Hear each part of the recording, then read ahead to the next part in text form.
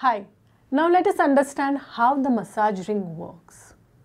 Massage ring is rolled on all your fingers. The nerve endings are also situated on all the periphery of your fingers. So, when you are massaging the fingers with the ring, you are actually stimulating your nervous system.